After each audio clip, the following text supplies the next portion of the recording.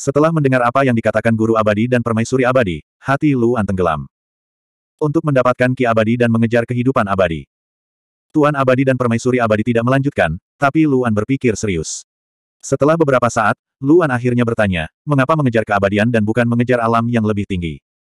Itu benar. Inilah yang paling membuat Luan bingung. Alam Raja Surgawi muncul setelah perang satu juta tahun yang lalu. Secara logika, mereka memulai perang untuk mengejar alam yang lebih tinggi. Mengapa mereka mengasosiasikannya dengan kehidupan kekal? Ada dua alasan. Permaisuri Abadi menjelaskan kepada Luan, pertama, jika mereka hanya mengejar alam yang lebih tinggi, klan roh seharusnya menyerah setelah melancarkan beberapa perang tanpa hasil. Mereka akan berpikir bahwa alam Raja Surgawi adalah akhir dari alam dan tidak akan bertahan. Alasan kedua adalah alasan yang paling penting. Ini juga merupakan perbedaan terbesar antara Sengoku dan klan kematian dan ras ekstrim lainnya. Baik itu klan bintang menyebar, klan dewa mistik, klan bulan cerah, atau klan Hachiko saat ini, mereka tidak memiliki standar tertinggi seperti Sengoku dan klan kematian. Sengoku dan klan kematian sama-sama memiliki karya klasik tertinggi. Dalam karya klasik, mereka mengejar fondasi alam semesta dan mengejar keabadian. Ini adalah tujuan yang tidak dimiliki ras lain. Kami semua bekerja tanpa kenal lelah untuk mencapai tujuan ini. Itulah sebabnya klan roh terus berperang. Luan terdiam lagi karena dia benar-benar mempercayainya. Sebelum percakapan ini, Luan sudah curiga bahwa klan roh ingin mendapatkan atribut ekstrim dari klan Hachiko. Namun, hanya itu yang dia pikirkan. Dia berpikir bahwa klan roh hanya ingin meningkatkan kekuatan dan atribut ekstrim mereka. Mereka tidak pernah berpikir untuk meningkatkan wilayah mereka atau mencapai kehidupan kekal. Namun, setelah mendengar apa yang dikatakan oleh guru abadi dan permaisuri abadi, dia secara bertahap setuju dengan hal ini. Meski ia tidak sepenuhnya mempercayainya karena ada beberapa celah yang jelas dalam pernyataan tersebut, namun hal tersebut memang sangat dapat dipercaya. Jika ini benar, maka dalam 90 ribu tahun sejarah yang hilang. Kemungkinan besar sesuatu telah benar-benar terjadi. Terlebih lagi, itu adalah sesuatu yang berhubungan dengan kehidupan kekal. Jika tidak, tidak perlu mengeluarkan banyak upaya untuk menghapus 90 ribu tahun sejarah. Sekarang, klan roh juga tidak perlu mengetahui apa yang terjadi dalam 90 ribu tahun terakhir. Memberitahumu tentang pemikiran undet adalah hal kedua, yang utama adalah membuatmu menyadari betapa berbahayanya situasimu. Permaisuri langit memandang ke arah Luan dan berkata dengan lembut, kau harus menyadari bahwa keberadaanmu di Dekin jelas bukan sekadar pengkhianat. Makna sejatimu jauh lebih besar dari itu. Ini karena Anda memiliki ki abadi dan energi kematian, serta atribut ekstrim lainnya. Lebih penting lagi, Anda berada di pihak lawan. Jika Anda berhasil memahami Dao Abadi, itu akan berdampak besar pada sungai bintang surgawi. Itu juga akan menyebabkan kerugian besar pada spirit Rache. Oleh karena itu, mereka harus membunuhmu. Tentu saja, mereka lebih suka kamu kembali ke Dekin dan berdiri di sisi mereka dengan garis keturunan yang unik. Dengan cara ini, mereka tidak hanya tidak akan menyakitimu, tapi mereka juga akan membantumu dan melakukan segala yang mungkin untuk membantumu memahami yang abadi. Jalur. Permaisuri abadi berkata, namun, dengan situasi saat ini, bahkan jika kamu menyerah pada ras kematian, itu akan sia-sia. Mereka tidak akan mempercayaimu lagi. Meskipun aku mempercayaimu, itu hanya akting. Saya hanya ingin mendapatkan kekuatan Anda. Mendengar kata-kata permaisuri abadi, Luan tiba-tiba teringat pada Lihan. Sebelum dia memasuki alam surga, dan bahkan ketika dia adalah guru surgawi tingkat tujuh, Lihan telah mencarinya berkali-kali setelah konferensi apoteker dan mencoba mengikatnya. Bahkan setelah dia memasuki alam surga, Lihan juga pernah mencarinya sekali, memberinya satu kesempatan terakhir untuk bergabung dengan perlombaan roh. Luan tahu bahwa dia selalu menjadi buronan di spirit Rache. Semua orang ingin menyingkirkannya secepat mungkin. Hanya Lihan yang ingin mengikatnya meskipun semua orang keberatan. Dapatkah ini menjadi alasan? Namun, kalau dipikir-pikir, itu memang benar. Saat itu, kekuatannya tidak tinggi. Selain memiliki banyak roda takdir, tidak ada yang istimewa dari dirinya sama sekali. Luan menarik napas dalam-dalam. Kenapa dia tidak memikirkan hal ini saat itu? Saya mengerti. Luan memandang keduanya dan berkata dengan serius, terima kasih atas pengingatnya, ayah mertua dan ibu mertua. Selain mengingatkanmu untuk berhati-hati, kami sebenarnya memiliki tujuan lain. Guru abadi memandang Luan dan berkata dengan suara yang dalam, kami ingin kamu mencoba menempuh jalan ini. Tubuh Luan bergetar ketika dia mendengar ini, dan dia memandang guru abadi dengan kaget. Aku tahu ini sangat mendadak. Itu adalah pilihanmu apakah kamu ingin melakukannya atau tidak. Aku hanya memberi saran, kata sang guru abadi. Jika tujuan Dekin benar-benar adalah hidup yang kekal, bisa bertahan dalam melancarkan begitu banyak peperangan berarti mereka pasti telah menemukan suatu rahasia, atau bahkan kemungkinan untuk mencapai kehidupan yang kekal. Namun, tidak peduli bagaimana mereka menemukannya, mustahil bagi mereka untuk melampaui Anda, yang benar-benar memiliki ki abadi dan kekuatan kematian. Di jalur ini, Anda pasti bisa berjalan lebih lancar dan cepat dibandingkan orang lain. Sejarah 90 ribu tahun mungkin berhubungan dengan kehidupan kekal, tapi sekarang Dekin ada di depan kita, dan kita tidak bisa memasuki Extinction Stream untuk waktu yang lama. Kita tidak tahu apa yang ada di dalamnya. Oleh karena itu, kemungkinan terbesar bagi kami untuk melampaui Dekin adalah kamu, kata Immortal Master. Kultivasi alam surga berbeda dari masa lalu. Kultivasi yang pahit tidak ada artinya, dan sering kali, Anda tidak akan membuat kemajuan apa pun. Oleh karena itu, memikirkan jalan keabadian tidak akan menyia-nyiakan waktu Anda dan tidak akan menyia-nyiakan waktu Anda. Tunda kultivasimu. Karena guru abadi telah mengatakan ini, Luan secara alami mengangguk dan berkata, oke, okay, saya pasti akan mencobanya.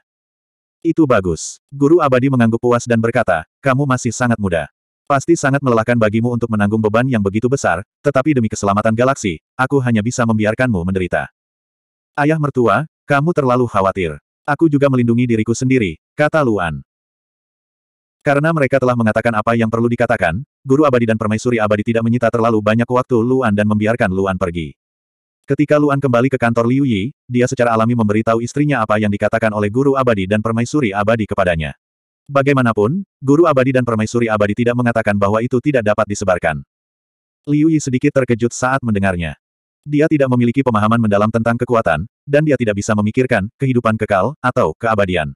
Ini terlalu jauh baginya, dan bahkan jika dia memikirkannya, dia akan mengira dia sedang bermimpi. Namun, kata-kata ini benar-benar berbeda dari apa yang dikatakan oleh guru abadi dan permaisuri abadi, dan kata-kata tersebut sangat dapat dipercaya. Suamiku, apa rencanamu? Liu Yi bertanya dengan prihatin. Ayo kita coba dulu. Luan menarik napas ringan. Meskipun kata-kata guru abadi dan permaisuri abadi mengejutkannya, itu tidak membuatnya kehilangan akal sehatnya, dan dia tidak akan mengubah tujuan kultivasinya. Tujuan kultivasinya adalah untuk menemukan roh, landasan dari semua kekuatan di alam semesta yang luas. Sama seperti Semoku yang percaya bahwa kehidupan adalah fondasinya, dan klan Ling percaya bahwa kematian adalah fondasinya, dia juga mencari apa yang dia yakini sebagai fondasinya. Terlebih lagi, dari sudut pandangnya, mungkin setelah menemukan roh, apa yang disebut kehidupan kekal dan keabadian akan menyusul. Luan tidak segera kembali ke planet Zuoxuan.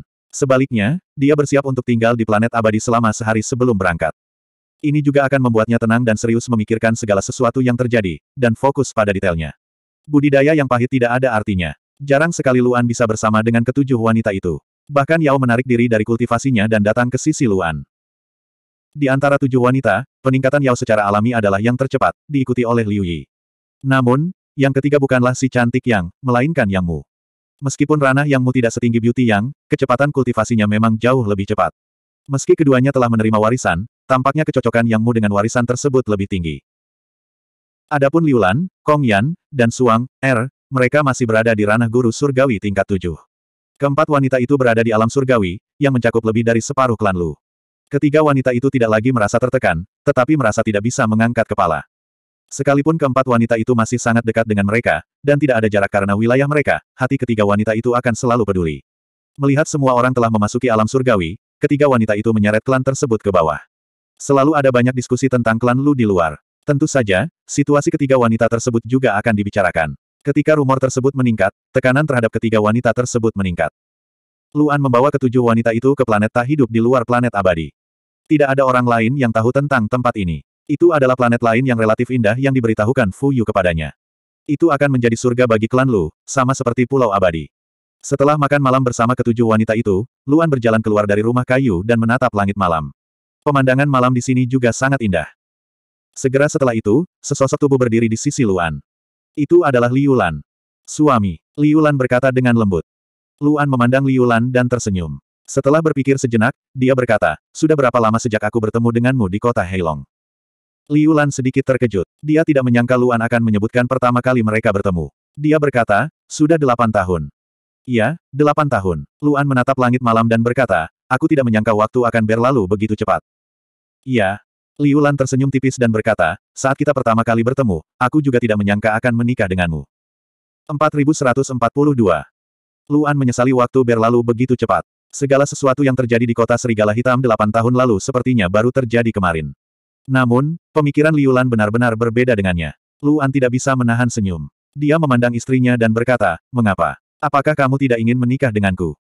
Tentu saja tidak. Liu Lan tahu bahwa suaminya sedang bercanda dengannya. Dia berkata, tahukah kamu kapan aku memutuskan untuk menikah denganmu? Luan memikirkannya dengan serius dan berkata sambil tersenyum, jangan bilang kamu ingin menikah denganku saat pertama kali kita bertemu. Pergilah. Liulan menepuk lembut Luan dan berkata, pertama kali kami bertemu, kami hanya menyukai satu sama lain dan memiliki kesan yang baik satu sama lain. Siapa yang ingin menikahi seseorang saat pertama kali bertemu? Alasan sebenarnya aku ingin menikahimu adalah karena kamu menyelamatkanku dari kawanan serigala di pegunungan serigala hitam dan membawaku sepanjang jalan. Luan segera teringat bahwa ketika dia berada di pegunungan, dia memang dikejar oleh sekelompok serigala level 3 dan 4. Serigala ada di mana-mana dan dia hampir mati. Liulan memeluk lengan Luan erat-erat dan bersandar padanya, meringkuk di dekatnya. Luan memandang istrinya. Faktanya, dia juga tahu bahwa tidak baik bagi ketiga wanita itu untuk menjadi guru surgawi tingkat tujuh. Meskipun tidak selalu, dia kadang-kadang berpikir tentang bagaimana membantu ketiga wanita itu meningkatkan wilayah mereka.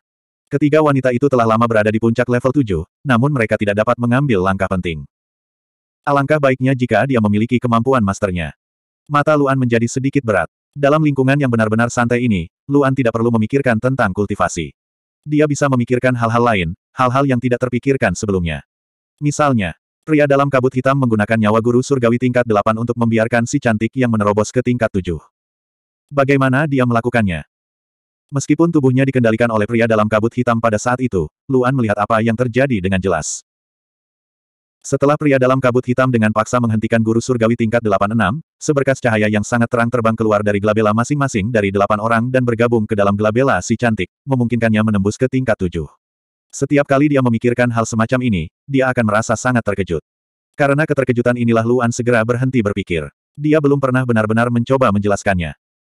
Sekarang karena dia tidak melakukan apa-apa, Luan mulai berpikir serius. Kemungkinan besar, itu adalah Divine Sense.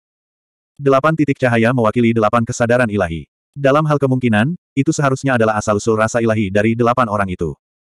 Ada tiga alasan untuk ini. Pertama, Divine Sense biasa tidak mungkin membiarkan seseorang menerobos ke alam berikutnya. Kedua, Divine Sense biasa tidak begitu terang dan nyata. Ketiga, delapan orang ini langsung jatuh ke tanah setelah titik cahayanya dihilangkan. Divine Sense biasa tidak akan menghasilkan efek seperti itu. Hanya ketika sumber Divine Sense diekstraksi barulah hal itu menyebabkan kematian instan. Jika titik cahaya itu benar-benar asal mula rasa ilahi, atau bagian dari rasa ilahi, mengapa hal itu memungkinkan orang untuk menerobos? Sekarang, penglihatan Luan tidak lagi sama seperti sebelumnya. Dia bisa melihat masalah dari sudut pandang dua galaksi. Di mata orang biasa, merampas secara paksa sumber indera ilahi orang lain dan memasukkannya ke dalam lautan kesadarannya sendiri mungkin merupakan hal yang ekstrim, tetapi Luan telah membaca banyak catatan seperti itu di buku. Orang-orang ingin menggunakan sumber rasa ilahi orang lain sebagai makanan untuk menyembuhkan atau mengembangkan sumber rasa ilahi mereka sendiri, namun hasil akhirnya selalu gagal. Sumber Divine Sense memiliki karakteristik berbeda. Ciri-ciri ini bahkan lebih serius daripada ciri-ciri garis keturunan. Ia tidak dapat bertahan di sumber lautan kesadaran orang lain, apalagi bergabung dengan sumber rasa ilahi orang lain. Luan telah memasuki sumber laut kesadaran yang Meiren. Yang ada hanya sumber Divine Sense miliknya sendiri dan tidak ada sumber Divine Sense lainnya. Dengan kata lain, sumber rasa ilahi dari delapan orang itu pasti telah diserap setelah memasuki sumber lautan kesadaran yang Meiren, namun dia tidak tahu apakah sumber rasa ilahi atau sumber lautan kesadaran yang menyerapnya. Tapi tidak peduli siapa orangnya, secara naluriah, itu adalah yang pertama, yaitu sumber Divine Sense. Yang Meiren menyelesaikan terobosannya dalam dua hari. Kecepatan ini tidak mungkin diserap oleh sumber lautan kesadaran. Kalau tidak, kecepatannya tidak akan terlalu cepat. Jadi, apakah ada cara untuk membiarkan sumber Divine Sense yang Meiren menyerap sumber Divine Sense orang lain? Juga, mengapa menyerap sumber rasa ilahi orang lain dapat meningkatkan tingkatan seseorang? Apa alasannya? Mungkinkah orang dalam kabut hitam telah memahami esensi pertumbuhan dunia? Bahkan jika tidak ada pemahaman, itu masih bisa meningkatkan ranah seseorang. Dengan kata lain, inti dari peningkatan alam ada pada sumber rasa ilahi. Memikirkan hal ini, alis Luan sedikit menegang. Ada kemungkinan lain, hanya ketika seseorang berkultivasi ke kondisi puncak suatu alam, hal itu akan berpengaruh. Karena keadaan puncak berarti akumulasi kekuatan tubuh fisik telah mencapai batasnya, dan hanya tersisa langkah pemahaman terakhir. Dan menyerap sumber Divine Sense orang lain kemungkinan besar merupakan inti dari langkah terakhir ini. Suami, yang mau bertanya dengan lembut. Luan terkejut dan menoleh untuk melihat Liulan. Apa yang Anda pikirkan? Liulan bertanya dengan rasa ingin tahu. Tidak ada apa-apa. Luan tersenyum. Dia tahu hal seperti ini tidak bisa dikatakan. Pertama, hal itu akan memberi tekanan pada istrinya. Kedua, Istrinya akan memberikan harapan palsu jika dia mengatakan sesuatu yang dia tidak tahu. Jika dia tidak berhasil memahaminya, dia akan semakin kecewa. Saat itu, keenam wanita itu juga keluar dari gedung. Jarang sekali setiap orang meninggalkan planet abadi, dan bahkan lebih jarang lagi berkumpul bersama. Tak satu pun dari mereka membicarakan tentang konferensi aliansi, hanya tentang keluarga mereka. Keenam wanita itu bahkan tidak menanyakan ke mana Luan pergi dan apa yang dia lakukan akhir-akhir ini.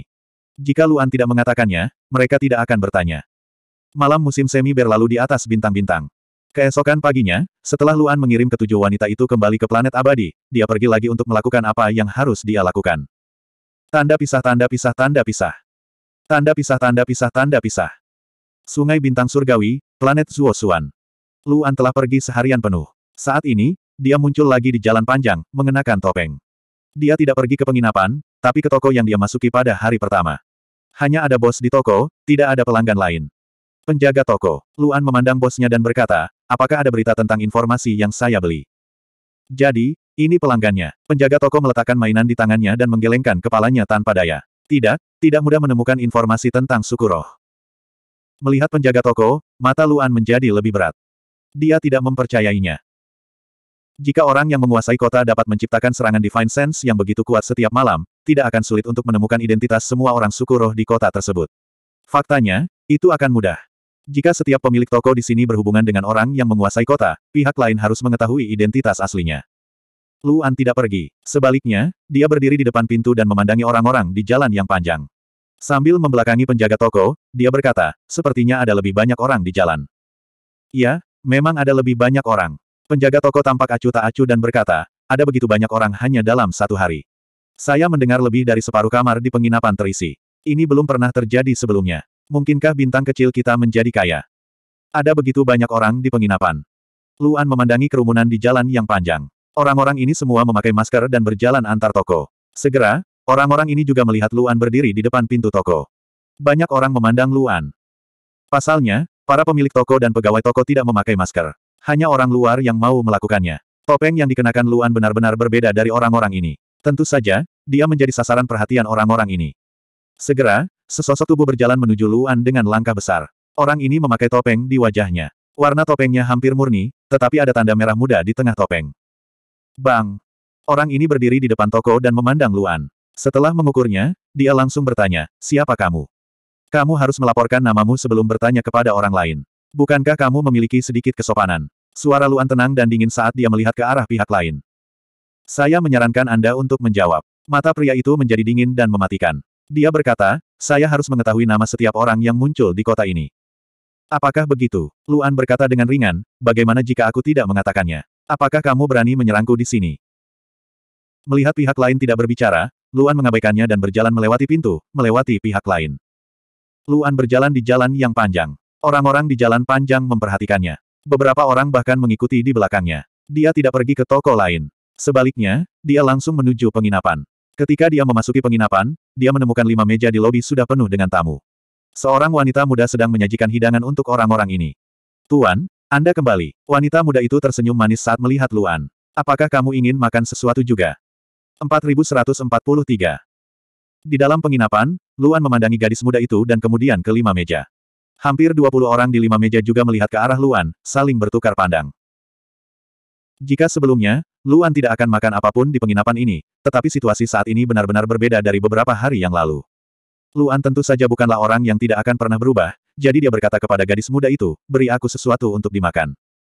Oke. Mata manis gadis muda itu berbinar ketika dia berkata, Tuan, tolong cari tempat untuk duduk. Dengan itu, gadis muda itu melompat menuju dapur. Namun, dapurnya tutup, jadi tidak ada yang tahu bagaimana gadis muda itu memasak. Luan berjalan ke meja di lobi. Ada 22 meja di lobi. Luan memilih tempat duduk yang tidak terlalu jauh dari lima meja dan duduk.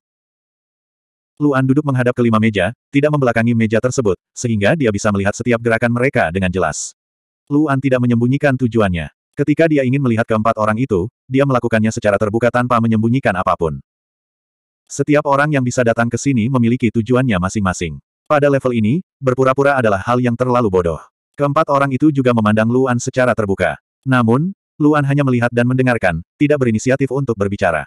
Segera, gadis muda itu menyajikan dua hidangan dan menaruhnya di meja Luan. Luan melihat kedua hidangan di depannya, yang dia tidak tahu apa itu, dan tidak punya nafsu makan sama sekali. Gadis muda itu menggunakan mayat seorang penggarap alam surga sebagai kayu bakar, jadi tidak ada yang tahu apa bahan masakannya. Lebih penting lagi, dia memakai topeng di wajahnya. Dia tidak mau melepasnya, jadi dia hanya menggunakan sumpitnya untuk mengutak-atik piring di piring. Setelah menyajikan hidangan, gadis muda itu pergi, hanya menyisakan Luan dan lima meja di lobi. Setelah sekitar sepuluh napas hening, seseorang di salah satu meja berbicara lebih dulu. Hai, pihak lain berbicara dalam bahasa Sengoku, dan itu sangat otentik. Dia bertanya pada Luan, siapa kamu? Apa yang kamu lakukan di sini? Begitu dia mengatakan itu, semua orang di lima meja memandang ke arah Luan, menunggu jawaban Luan. Nada suara pihak lain sangat tidak sopan.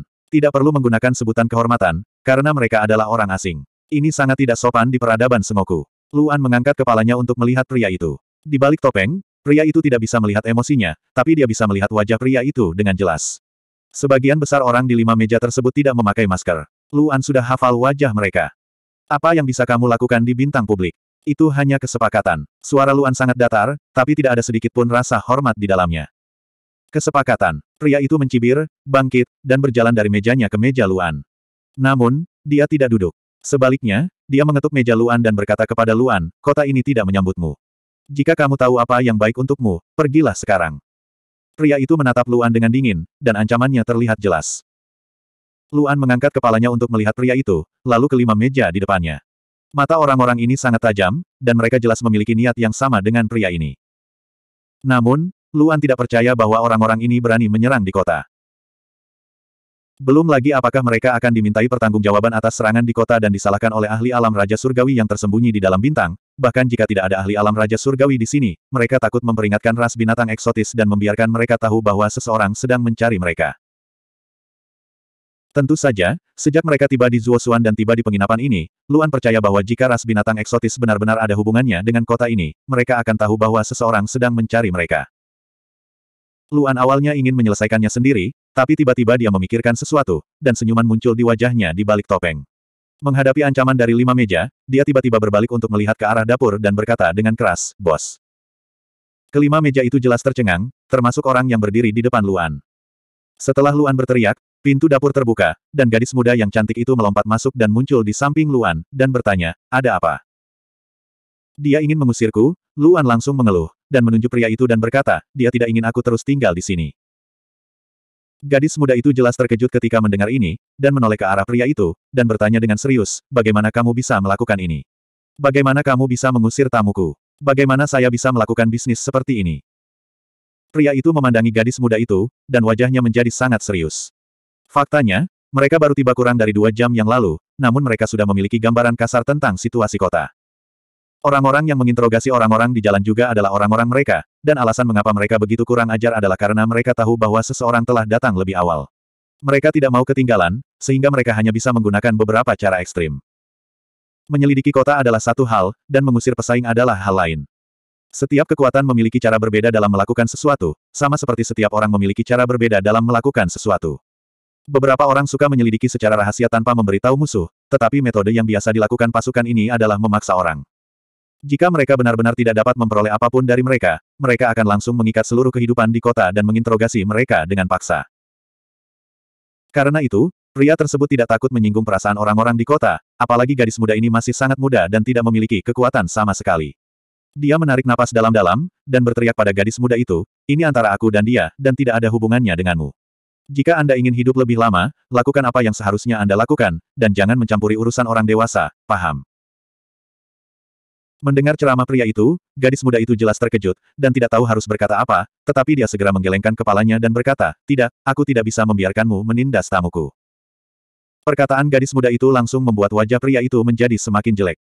Kesabarannya terbatas, dan dia sedang tidak mood untuk berbicara dengan seorang gadis muda, apalagi seorang gadis muda dari sungai Skistar. Dia segera mengangkat tangannya, dan tanpa ampun menamparkan wajah gadis muda itu. Bang! Pergelangan tangan pria itu tersangkut di tempat, dan bukan gadis muda yang melakukannya, melainkan Luan. Memukul seorang gadis, bukankah itu keterlaluan? Luan memandang pria itu, dan suaranya tiba-tiba berubah dingin, sangat berbeda dari nada tenang sebelumnya. Pria itu melihat pergelangan tangannya yang terjepit. Dia secara alami tidak dapat menggunakan seluruh kekuatannya untuk menamparkan wajahnya, karena tidak perlu, sehingga kecepatannya tidak cepat, atau bahkan sangat lambat, dan siapa pun di alam yang sama dapat menangkapnya. Namun, pergelangan tangannya terjepit membuatnya semakin tidak senang, dan dia segera mencoba melepaskan diri, ingin menarik tangannya, tetapi dia terkejut karena dia tiba-tiba menyadari bahwa dia tidak dapat melakukannya. Pria bertopeng ini memegang erat pergelangan tangannya, dan dia tidak bisa menariknya sama sekali. Kekuatan yang luar biasa. Itu adalah kekuatan fisik murni, dan tak satu pun dari mereka menggunakan kekuatan elemen apa pun. Luan tidak bergerak karena kekuatannya cukup untuk menahan pria itu, dan pria itu tidak menggunakan kekuatannya karena dia tidak berani, karena sekali dia menggunakan kekuatannya, identitasnya akan terungkap. Pria itu mencoba lagi dan lagi, dan menyadari bahwa dia tidak dapat melepaskan diri tanpa menggunakan kekuatannya. Berangkat, suara pria itu sangat tertahan, dan dia menatap Luan dengan mata membara. Namun, Luan hanya menatapnya dengan dingin, dan tidak melepaskannya. Sebaliknya, dia menoleh ke gadis muda itu dan berkata, lakukan saja tugasmu. Luan memanggil gadis muda itu untuk melihat apakah ada sesuatu yang istimewa pada dirinya, tetapi gadis muda itu acuh tak acuh ketika dia akan ditampar, seolah-olah dia tidak menyadarinya sama sekali. Dia tidak bisa membiarkan gadis muda itu dipukul, jadi dia hanya bisa bergerak. Namun, gadis muda itu tidak pergi, dan hanya menatap pria itu dengan marah. Aku sudah bilang padamu untuk melepaskannya. Pria itu tidak melihat ke arah gadis muda itu, dan berteriak dengan marah pada Luan lagi. Setelah dia berteriak dengan marah, orang-orang di lima meja segera berdiri dan meninggalkan tempat duduk mereka, dan semuanya berjalan menuju Luan. Delapan belas orang berjalan menuju Luan, dan meja Luan dikelilingi sepenuhnya, dan bahkan gadis muda itu pun dikelilingi oleh Luan. Saat ini, Luan masih memegangi pergelangan tangan pria itu, dan dia tidak melepaskannya. Aku akan mengatakannya untuk yang terakhir kalinya, lepaskan. Pria itu memandang Luan dengan mata penuh niat membunuh, dan berkata dengan berat. Kali ini, Luan mendengarkan, dan dia melepaskan pergelangan tangan pria itu. Dia memandang orang-orang di sekitarnya dan berkata, mengapa ada begitu banyak orang di sini? Saya tidak punya uang untuk mentraktir Anda makan. Sebanyak 19 orang menatap ke arah Luan, dan pria itu menggosok pergelangan tangannya, lalu membanting tangannya ke meja Luan lagi. Kamu harus keluar dari kota ini, ini adalah belas kasihan terakhirku padamu. Pria itu berkata dengan dingin, kamu harus benar-benar keluar. Luan sedikit mengernyit, dan saat dia hendak mengatakan sesuatu, tiba-tiba terdengar suara dari pintu. Yo, sebuah suara nyaring berkata dengan keras, saya tidak menyangka akan semarak di sini. 4144 Suara keras dan jelas tiba-tiba terdengar dari pintu masuk, segera menyebabkan semua orang di lobi penginapan terkejut ketika mereka semua berbalik untuk melihat keluar. Bahkan Luan dan wanita muda itu terkejut, tetapi mereka dihadang oleh kerumunan ketika mereka berbalik. Luan tidak perlu melakukan apa pun, wanita muda itu menerobos kerumunan dan berteriak, jangan menghalangi jalan, saya masih harus menyambut tamu. Wanita muda itu memaksa masuk, membiarkan Luan melihat pintu masuk. Saat dia melihat situasi di pintu masuk, dia terkejut lagi. Itu bukan satu orang, tapi sekelompok orang. Demikian pula, ada lebih dari sepuluh orang berdiri di pintu masuk, menghalangi pintu masuk penginapan. Kedua belah pihak saling berhadapan, tetapi orang-orang di pintu masuk tidak takut dengan orang-orang di aula, mata mereka penuh semangat juang. Yang benar-benar mengejutkan Luan bukanlah kedatangan sekelompok orang lain, melainkan identitas kelompok orang tersebut. Tak satu pun dari mereka yang memakai masker, jadi wajah semua orang terlihat. Lebih penting lagi, Luan mengenal banyak dari mereka. Misalnya, orang yang berdiri di depan semua orang dan berbicara tadi adalah Fu Minghe. Di antara para penggarap alam surga klan Fu, dia menduduki peringkat lima besar. Tidak hanya klan Fu, tapi ada juga orang dari klan Gao dan klan Li, tapi tidak ada klan lain. Artinya, kemungkinan besar ketiga klan tersebut bekerja sama dalam operasi ini, dan tidak semua klan Hachiko bekerja sama. Selain itu, Luan punya alasan untuk percaya bahwa orang-orang ini berada di bawah komando istrinya, dan istrinya telah meminta mereka untuk datang. Orang-orang dari tiga klan melangkah ke aula, sama sekali mengabaikan 19 orang di sekitar Luan. Mereka duduk di beberapa meja dan berkata kepada wanita muda itu, Bos, siapkan beberapa lauk pauk untuk kami, dan mari kita coba makanan khas planet Zuo. Oke. Wanita muda itu sangat senang dan berkata dengan manis, mohon tunggu sebentar. Saat dia berbicara, wanita muda itu berlari ke dapur untuk bersiap, sementara Fu Minghe dan yang lainnya menoleh untuk melihat ke 19 orang yang mengelilingi Luan. Fu Minghe berbicara lagi, tetapi kali ini kepada teman-temannya, saya katakan, semuanya, planet Zuo berada di dalam galaksi surgawi, dan seluruh galaksi surgawi adalah wilayah klan Hachiko kita. Jika seseorang menindas orang di wilayah kita, kita tidak bisa hanya duduk diam dan tidak melakukan apa pun, bukan? Tentu saja, seseorang langsung berkata sambil tersenyum, kebetulan tanganku gatal akhir-akhir ini. Aku sangat ingin berkelahi. Sekelompok orang di sekitar Luan menjadi lebih serius. Pihak lain dengan berani mengungkapkan identitasnya, menyebabkan hati mereka tenggelam. Jika mereka berada di medan perang, mereka tidak akan takut. Tapi di sini, mereka memang ketakutan.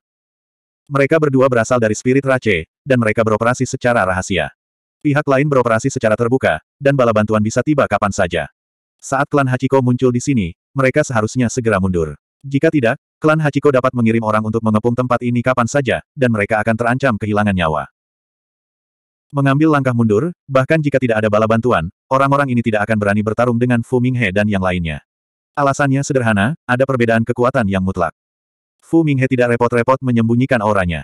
Dia melepaskannya keluar, mengejutkan 19 orang spirit race. Kekuatan mereka tidak kuat, jika tidak, pria ini tidak akan ditangkap oleh pergelangan tangan Luan dan tidak dapat melepaskan diri.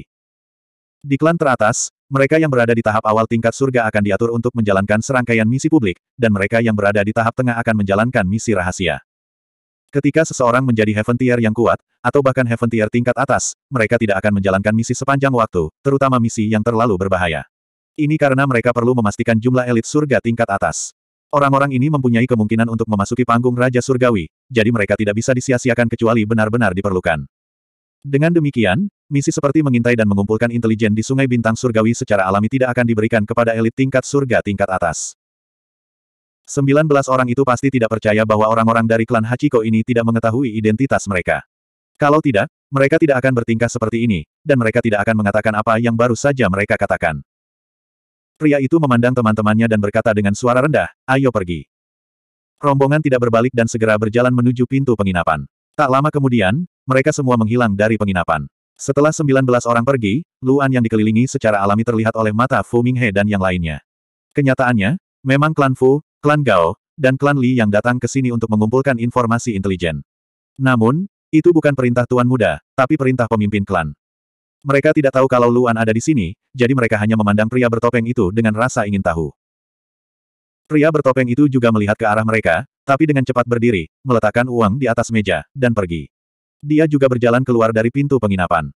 Adegan ini mengejutkan Fu Minghe dan yang lainnya. Mereka baru saja mengumumkan bahwa mereka berasal dari klan Hachiko. Mengapa pria bertopeng itu pergi tanpa mengucapkan sepatah kata pun? Di Sungai Bintang Surgawi, selama klan Hachiko mengumumkan klan mereka, mereka pasti akan menerima perlakuan tingkat tertinggi. Bagaimanapun, klan Hachiko adalah penguasa sungai bintang surgawi. Aneh.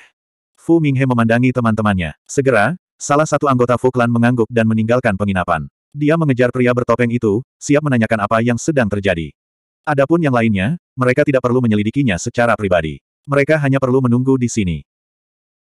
Mengambil napas dalam-dalam, Fu Minghe mengangkat tangannya untuk menutup ruang di sekitarnya dan bersiap untuk berbicara dengan orang-orang di meja yang sama. Di meja ada Kapten Klan Li, Li Suixin, dan Kapten Klan Gao, Gao Lu. Mereka di sini untuk mewakili klan masing-masing dalam misi ini. Informasi tersebut berasal dari klan Fu, namun mereka hanya mengetahui bahwa terdapat informasi tentang sejarah 90 ribu tahun di sini.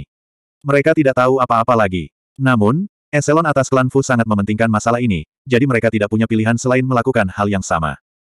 Orang itu barusan seharusnya berasal dari spirit Rache. Fu Minghe berkata dengan suara rendah, informasi yang diberikan oleh eselon atas memang benar. Ada orang-orang dari ras roh di planet Zuoxuan, dan kemungkinan besar mereka berasal dari salah satu klan teratas. Iya. Li Suixin mengangguk dan berkata, tetapi eselon atas tidak ingin kita mengalami konflik serius dengan mereka, apalagi melawan mereka.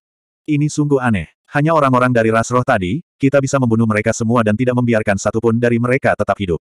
Membiarkan mereka semua pergi sungguh sia-sia. Para eselon atas pasti tahu lebih banyak daripada kita. Jika mereka tidak ingin kita melakukan apa pun, kita tidak akan melakukan apa pun. Gao Lu memiliki kepribadian tenang dari klan Gao. Dia berkata, waktu sangatlah penting. Mari kita tanyakan pada gadis muda itu nanti dan lihat apakah dia mengetahui sesuatu.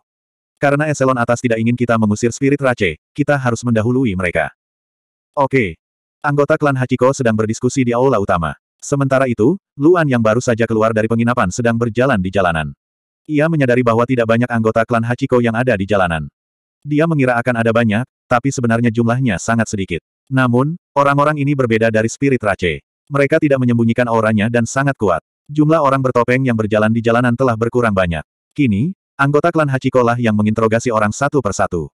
Hanya klan Hachiko dan ras roh yang berhak melakukan interogasi di planet mana pun di Bima Sakti. Klan dan kekuatan lain tidak memiliki kemampuan untuk melakukannya. Pada saat ini, Luan tiba-tiba merasakan aura mendekatinya dari belakang.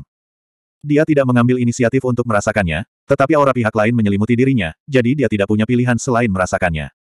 Tuan, harap tunggu. Anggota klan Fu berteriak. Luan berhenti ketika mendengar ini. Dia menoleh untuk melihat orang di belakangnya dan bertanya, ada apa? Klan Hachiko ingin tahu siapa Anda dan apa hubungan Anda dengan sekelompok orang tadi. Mengapa mereka mengelilingi Anda? Orang itu langsung bertanya. Saya hanya seorang pejalan kaki. Luan berkata dengan jujur. Mereka tidak ingin saya tinggal di kota ini dan mengancam saya untuk pergi. Saya tidak setuju, jadi mereka ingin menyerang saya. Anggota klan Fu sedikit mengernyit. Ia meyakini alasan perselisihan tersebut, namun pria bertopeng di depannya tidak mengungkapkan latar belakangnya dan hanya mengatakan bahwa ia hanya seorang pejalan kaki. Itu terlalu mencurigakan. Siapa yang akan memakai topeng seperti orang yang lewat? Tidak masuk akal bagi seorang kultivator tingkat surga untuk datang ke planet publik tanpa nama dan menyembunyikan identitasnya. Pihak lain berbohong. Anggota klan Fu tahu bahwa meskipun dia mengungkap pihak lain, dia tidak akan mengatakan yang sebenarnya. Dia bertanya, jika Anda hanya seorang pejalan kaki, kapan Anda berencana meninggalkan planet Zuoxuan? Aku tidak tahu. Nada bicara Luan jelas menunjukkan sedikit geli dan rasa ingin tahu. Dia berkata, begitu banyak seniman bela diri yang kuat tiba-tiba muncul di planet ini, dan klan Hachiko bahkan muncul. Sepertinya ada sesuatu yang sangat penting di planet Zuoxuan. Bagaimana saya bisa pergi ketika saya tahu ada harta karun di sini? Kecuali, klan Hachiko tidak mengizinkanku tinggal di planet ini. Anggota klan Fu memandang pria bertopeng itu dengan ekspresi serius. Perintah yang diberikan kepada mereka adalah untuk tidak mengusir siapa pun, dan orang ini tidak akan melanggar perintah. Dia berkata, jika Anda ingin tinggal di sini, tentu saja kami tidak akan menghentikan Anda. Namun, izinkan saya memberi Anda sedikit nasihat. Keingintahuan membunuh kucing itu, menjadi terlalu penasaran bukanlah hal yang baik. Baiklah, Luan tersenyum dan berkata, aku akan mengingatnya. 4145 dalam sehari, planet Zuosuan berada dalam kekacauan. Klan Fu, Klan Li, dan Klan Gao menempatkan diri mereka di planet Zuosuan dan menginterogasi semua tokoh di planet Zuosuan. Mereka sama sekali tidak takut mengungkap identitas mereka. Sebaliknya, mereka berinisiatif untuk berbicara. Nama, klan Hachiko, saja sudah cukup untuk mendapatkan rasa hormat dari ras mana pun di Sungai Bintang Surgawi dan menjawab pertanyaan klan Hachiko. Berita itu dengan cepat menyebar kembali ke Sungai Spirit Star dan ke telinga dua klan teratas.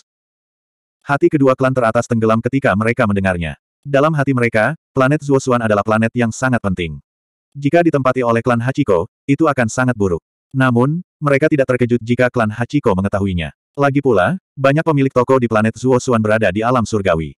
Ada juga angin Divine Sense yang bertiup di malam hari. Tidak mengherankan jika identitas ras roh terungkap.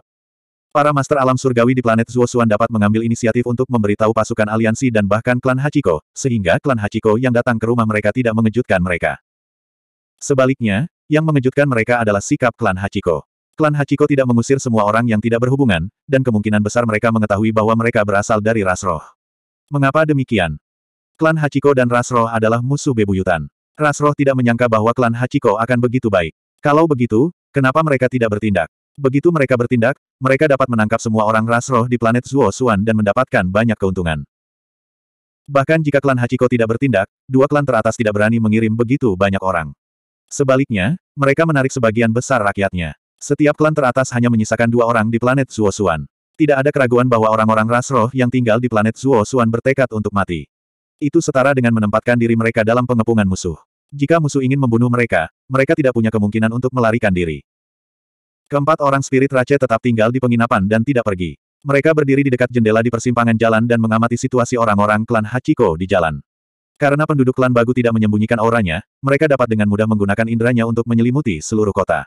Mereka dapat dengan jelas melihat di mana ada orang dan bahkan apa yang berada puluhan ribu kaki di bawah tanah. Adapun Luan, dia juga tidak pergi. Namun, dia tidak berada di penginapan, melainkan di toko. Dia berpura-pura sedang melihat barang-barang di toko. Pada saat yang sama, dia mendengar interogasi klan Hachiko terhadap toko.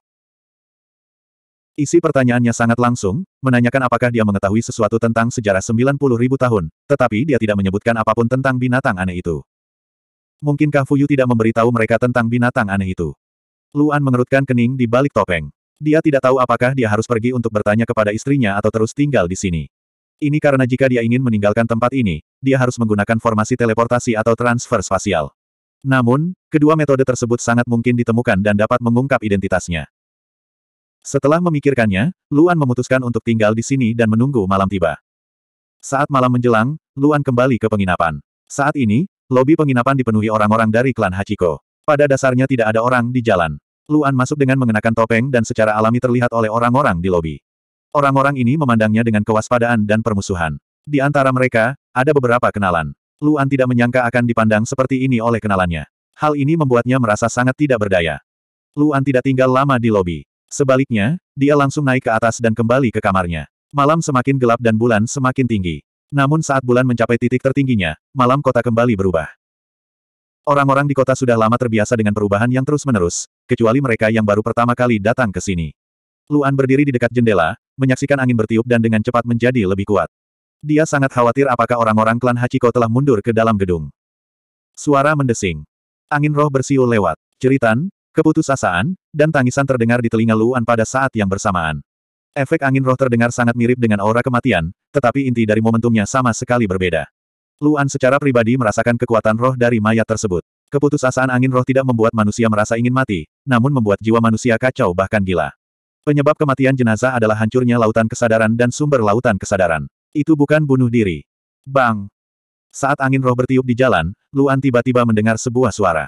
Itu adalah suara pintu terbuka. Ini seharusnya suara pintu penginapan yang dibuka. Di tengah malam, gadis itu pasti akan menutup pintu. Jika tidak ada tamu, gadis itu tidak akan membukakan pintu. Dengan kata lain, pintu ini harus dibuka oleh orang lain. Tidak ada keraguan bahwa kemungkinan besar itu adalah seseorang dari klan Hachiko. Dari sudut ini, Luan tidak dapat melihat situasi di depan pintu. Setelah berpikir sejenak, Luan segera meninggalkan ruangan dan berjalan menuju lobi. Saat ini, masih banyak orang yang berkumpul di lobi. Mereka semua adalah anggota klan Hachiko. Luan segera ditemukan oleh orang-orang ini. Mereka memandang Luan dengan kewaspadaan dan permusuhan. Luan tidak berjalan di antara orang-orang ini. Sebaliknya, dia berdiri di puncak tangga dan melihat situasi di pintu dari jauh. Fu Minghe dan sekelompok orang berdiri di pintu, memandangi roh-roh yang bersiul melewati pintu. Mereka tidak masuk ke dalam penginapan karena pintunya terbuka. Ekspresi Fu Minghe sangat berat, tapi dia berani. Klan Fu juga merupakan klan yang paling mahir dalam roh. Setelah berpikir sejenak, Fu Minghe segera melepaskan air langit. Ledakan. Air surgawi keluar dari pintu dan melonjak menuju jalan yang panjang. Jalan yang panjang itu tidak lebar. Terlebih lagi, itu berada di bawah kekuasaan ahli alam surga. Tak lama kemudian, jalan panjang itu terhalang oleh tirai besar air langit yang membentang di sepanjang jalan panjang itu. Roh-roh secara alami menghantam air langit. Air langit dipenuhi dengan kekuatan roh, seperti lautan kesadaran lainnya. Semangat Fu Minghe dan semangat jalan panjang terjalin erat di air langit. Bersenandung. Alis Fu Minghe segera menegang, karena dia merasakan kekuatan dahsyat dari angin rasa ilahi. Bahkan kekuatan Divine Sense miliknya sangat sulit untuk ditolak. Seseorang harus tahu bahwa dia tidak hanya memiliki kekuatan indera spiritual. Atribut Tian Sui sendiri memiliki pengaruh yang kuat terhadap perasaan spiritual dunia luar. Bahkan setelah semua ini, hasilnya tetap sama. Benar-benar menakutkan. Gemuruh. Tirai air langit sebenarnya bergetar. Ini berarti dampak yang diterima Fu Minghe telah mencapai tingkat di mana dia tidak bisa lagi mempertahankannya. Namun, tirai air langit sangat besar, menghalangi seluruh jalan. Jika Fu Minghe seukuran satu orang, dia akan mampu bertahan dari serangan angin rasa ilahi. Namun, Fu Minghe tetaplah Fu Minghe. Apa yang bisa dia lakukan bukan berarti orang lain bisa melakukannya. Ketika Fu Minghe berhenti mengendalikan tirai air langit, air langit segera menyebar di jalan panjang dan menyapu keluar kota. Di belakangnya, Gao Lu dan Li Suixin langsung bertanya, Saudara Fu, bagaimana kabarnya? Sangat kuat. Malam ini tidak cocok untuk bergerak. Fu Minghe berkata dengan suara yang dalam, rasa spiritual itu sendiri sangat kuat, dan juga memiliki kemampuan menyerang yang kuat. Sepertinya kita hanya bisa bertindak di siang hari. Mendengar ini, Gao Lu dan Li Suixin menarik napas dalam-dalam. Melihat pemandangan di luar pintu, mereka menghela nafas lega. Karena kesimpulan Fu Minghe adalah mereka tidak perlu keluar pada malam hari, mereka sebenarnya senang karena angin rasa ilahi sangat kuat. Kalau tidak, jika kekuatannya sedikit lebih lemah, mereka mungkin harus pindah keluar sambil menahan angin rasa ilahi. Namun, pembicara tidak bersungguh-sungguh, tetapi pendengar yang melakukannya. Setelah mendengar kata-kata Fu Minghe, Luan, yang berdiri di tangga, tiba-tiba gemetar. Mata gelap di bawah topeng langsung berubah menjadi dingin. Malam hari tidak cocok untuk bergerak, jadi mereka hanya bisa beraksi di siang hari. Tentu saja, dia sudah mengetahui kesimpulan ini. Namun, ketika itu keluar dari mulut orang lain, itu memberinya perasaan berbeda. Karena kalimat ini juga bisa diartikan sebagai, kota ini hanya mengizinkan semua orang beraksi di siang hari, dan tidak ada yang boleh beraksi di malam hari. Apakah ada misteri nyata yang tersembunyi di malam hari? Luan melihat ke arah angin rasa ilahi di luar pintu. Mungkin angin rasa ilahi ini adalah pelindung sejati kota ini. Wajah asli kota ini hanya akan terungkap pada malam hari. Di bawah langit malam, rahasia sebenarnya kota ini akan terungkap. Memikirkan hal ini, Luan menarik napas dalam-dalam. Saat ini, dia tiba-tiba teringat seseorang dan segera berjalan ke dapur. Di mana gadis muda itu? Di mana wanita muda itu? 4146. Hilangnya gadis itu membuat Luan semakin bingung. Gadis itu pada dasarnya tidak meninggalkan penginapan pada siang hari, mungkin hanya pergi ketika dia perlu mengambil mayat. Sekarang di luar sangat berbahaya pada malam hari, di mana gadis itu berada jika bukan di penginapannya. Mungkinkah dia tidak ingin menginap di penginapan sepanjang malam? Fu Minghe dan yang lainnya masih berdiri di pintu dan mengamati angin sense spiritual di jalan, mencoba mencari petunjuk darinya. Luan segera kembali ke kamarnya, menutup dan mengunci pintu, dan pergi ke jendela lagi untuk melihat angin sense spiritual di luar. Dengan keraguan tentang malam itu, Luan tentu saja memiliki ide untuk meninggalkan penginapan dan pergi ke jalan raya, kota, atau bahkan keluar kota. Saat ini, Luan tiba-tiba teringat malam pertama dia datang ke kota. Setelah menemukan angin sense spiritual, dia pergi untuk mengetuk pintu klan roh, tetapi menemukan bahwa klan roh tidak ada sama sekali, dan baru kembali keesokan paginya. Mungkinkah klan roh sudah mengira ada sesuatu yang aneh di malam hari, jadi mereka tidak ada di penginapan pada malam hari. Angin rasa spiritual ini berangsur-angsur bertiup, dan menjadi begitu kuat dalam sepuluh tarikan napas. Sepuluh napas sudah cukup bagi ahli alam surga mana pun untuk melarikan diri dan memasuki gedung. Namun meski begitu, masih ada orang yang meninggal di jalanan. Penjelasan yang paling mungkin adalah, Orang-orang ini tidak ingin kembali ke gedung, tetapi ingin melakukan sesuatu di luar, namun sayangnya beberapa orang meninggal. Dengan kekuatan sense spiritual Fu Minghe, jika dia hanya membentuk pertahanan sense spiritual di sekujur tubuhnya, diperkirakan dia bisa bertahan secara paksa di angin sense spiritual untuk sementara waktu, setidaknya untuk waktu yang dibutuhkan untuk menyeduh secangkir teh. Namun kenyataannya, serangan itu tidak harus sekuat Fu Minghe, karena ini hanyalah serangan rasa spiritual. Jika seseorang memiliki peralatan pertahanan tertinggi di alam surga, atau bahkan peralatan pertahanan tingkat Raja Surgawi, mereka dapat melakukan hal yang sama, atau bahkan lebih lama. Adapun Luan, dia benar-benar tidak memiliki peralatan pertahanan sense spiritual, tapi meski begitu. Dia ingin keluar dan melihat. Mungkin karena keberaniannya, meskipun kekuatan Luan sangat biasa di alam surga, kekuatan rasa spiritualnya benar-benar berbeda. Kekuatan laut pengetahuan dan kekuatan rasa spiritualnya jauh melampaui orang-orang di alam yang sama, dan atribut rasa spiritualnya sangat kuat, dan dia memiliki sepasang mata khusus, jadi dia benar-benar memiliki modal untuk mencoba. Luan berpikir keras. Ini sama sekali bukan permainan anak-anak, dan dia tidak akan bercanda dengan hidupnya. Setelah memikirkannya berulang kali, Luan memutuskan untuk mencobanya. Dia membuka jendela sedikit, tetapi angin kesadaran spiritual tidak masuk banyak. Sama seperti ketika pintu lobi dibuka, angin perasaan spiritual hanya akan menyapu jalanan dan tidak akan memasuki gedung. Kemudian, Luan mengulurkan tangannya dari dalam ruangan keluar jendela dan menuju angin kesadaran spiritual. Bang! Angin rasa spiritual secara alami bertiup ke lengan Luan, namun kenyataannya, hal itu tidak banyak berpengaruh pada Luan. Namun, lengannya penuh dengan meridian dan sense spiritual, dan angin sense spiritual akan berdampak serius pada tubuh. Luan ingin melihat apakah meridian dan indera spiritual di lengannya dapat menahannya. Jika lengannya bisa bertahan, lautan kesadarannya pasti bisa bertahan. Segera, lengan Luan, yang berada di angin rasa spiritual, terasa mati rasa. Mati rasa ini disertai dengan emosi, dan dengan cepat ditransmisikan ke lautan kesadaran Luan, menyebabkan dia merasakan lolongan dan jeritan yang lebih memekakkan telinga. Alis Luan menegang, dan sambil memastikan auranya terkendali sepenuhnya, dia melepaskan kekuatan gelap di tubuhnya. Tidak hanya indera spiritual gelap, tetapi bahkan kekuatan gelap pun dimobilisasi, tetapi itu terbatas pada tubuhnya sendiri, dan bahkan terbatas pada kedalaman tubuhnya, memastikan bahwa cincin abadi tersembunyi dapat menyembunyikan auranya. Ketika Luan memobilisasi rasa dan kekuatan spiritual kegelapan, kenyataan segera berubah. Mati rasa di lengannya tiba-tiba berkurang, dan terus berkurang hingga hampir tidak ada. Semua angin rasa spiritual yang menyapu lengannya pertama kali ditelan oleh kekuatan gelap, dan kekuatan gelap juga memiliki efek menelan yang besar pada rasa spiritual. Setelah kemampuan menelan kekuatan gelap mencapai batasnya, sebagian kecil angin sense spiritual yang tersisa bersentuhan dengan sense spiritual gelap di lengannya, dan dengan cepat diasimilasi oleh sense spiritual gelap, seolah-olah itu juga ditelan. Dengan cara ini, pengaruh angin sense spiritual pada meridian dan sense spiritual di lengannya menjadi sangat kecil, dan menurut situasi ini, dia dapat bertahan lebih lama dalam angin sense spiritual. Jika angin indera spiritual di jalan panjang mencapai sejauh ini, Luan yakin dia bisa bertahan lebih dari setengah menit. Dengan kata lain, selama dia bisa kembali ke penginapan dalam waktu setengah menit, dia bisa menjamin keselamatannya. Bagi alam surgawi, ada terlalu banyak hal yang bisa dilakukan dalam waktu setengah menit. Belum lagi dalam kota, ia bahkan bisa terbang sangat jauh ke luar kota. Setelah memastikan bahwa angin rasa spiritual tidak akan langsung berakibat fatal baginya, Luan tidak ragu-ragu lagi, dan seluruh tubuhnya dengan cepat melompat dari jendela dan keluar dari jendela. Angin rasa spiritual segera menyapu tubuhnya, termasuk kepalanya dan lautan kesadaran di luar. Ledakan. Di bawah perlawanan kekuatan gelap dan indera spiritual, tubuh Luan hanya gemetar dan pulih. Dia bisa merasakan jeritan dan ratapan di tubuhnya, dan emosi semacam ini ingin membuatnya gila, tetapi di bawah tekanan kekuatan gelap, dia hampir tidak bisa bergerak, dan tidak bisa mempengaruhinya dalam waktu singkat. Setelah memastikan bahwa ia dapat beradaptasi, Luan segera menutup jendela di belakangnya dan dengan cepat terbang ke langit, alih-alih terbang langsung ke jalan yang panjang, karena tidak ada artinya. Suara mendesing. Luan dengan cepat mencapai posisi seratus kaki di udara, yang cukup untuk melihat separuh kota, dan dapat dengan jelas melihat empat jalan panjang di kota, tapi ini adalah batasnya.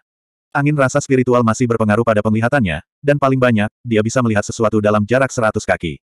Lebih dari seratus kaki, dengan cepat menjadi kabur, dan lebih dari seratus dua puluh kaki, dia tidak dapat melihat apa pun. Selain itu, Angin indera spiritual sangat dingin sehingga dia tidak dapat menggunakan indera spiritual untuk memahami dunia luar, dan Luan tidak berani melepaskan kekuatannya untuk memahami, jadi dia hanya dapat mengandalkan penglihatannya untuk membedakan. Untuk melihat seluruh kota, Luan berinisiatif menurunkan ketinggiannya, menjadi sekitar 500 kaki dari bawah, dan tidak bergerak cepat di atas kota, agar tidak mampu menahan auranya. Luan dengan cepat memastikan bahwa jalanan kota itu kosong, dan tidak ada sosok apa pun. Bahkan jika Luan bisa menunggu beberapa saat, tidak ada yang keluar dari gedung untuk menemuinya. Namun, Luan tidak menjawab, tapi mengalihkan pandangannya keluar kota. Sejauh ini, Luan belum benar-benar keluar kota. Bahkan pada siang hari, dia hanya pergi ke puncak tembok kota dan melihat keluar. Tapi malam ini, Luan siap pergi ke luar kota. Sekalipun masih tidak ada apa pun di luar kota seperti pada siang hari, dia harus pergi keluar untuk melihat apa yang terjadi. Setengah menit sudah cukup baginya untuk terbang jauh. Suara mendesing. Luan segera berangkat dan terbang ke luar kota. Saat terbang di atas kota, dia sangat berhati-hati agar tidak terdengar oleh orang-orang di dalam gedung, dan ketika dia berada di luar kota, Luan secara bertahap meningkatkan kecepatannya. Dia tidak tahu apakah ada orang di luar kota, dan jeritan yang dihasilkan oleh angin sense spiritual dapat menutupi suara sebenarnya di dunia nyata. Luan ingin terbang keluar kota dan permukaan bintang dengan kecepatan yang cukup cepat, dan langsung keluar, daripada berputar-putar mengelilingi kota.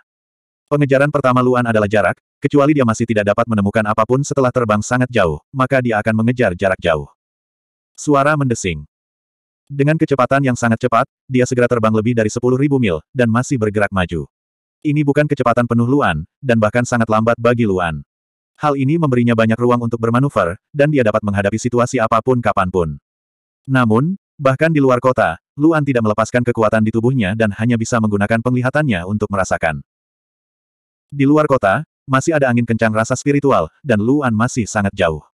Luan tidak akan pernah percaya bahwa angin sense spiritual sebesar itu dibentuk oleh ahli tingkat surga, bahkan jika dia dipukuli sampai mati. Bahkan jika klan Dewa Mistik muncul kembali, Luan tidak akan mempercayainya. Hal ini karena kisarannya terlalu besar, dan ini bukanlah perubahan kualitatif yang dapat disebabkan oleh kuantitas. Namun, ketika Luan baru saja terbang 10.000 mil jauhnya, pandangannya tiba-tiba menjadi kosong, dan seolah-olah tiba-tiba menjadi sangat luas. Hal ini menyebabkan kecepatan Luan menurun tajam, dan dia segera berhenti dan akhirnya berhenti di tepi. Tepi di mana angin rasa spiritual terhubung dengan dunia luar. Itu adalah akhirnya. Luan berdiri di tengah angin indera spiritual, dan jaraknya kurang dari 10 kaki dari batas di depannya.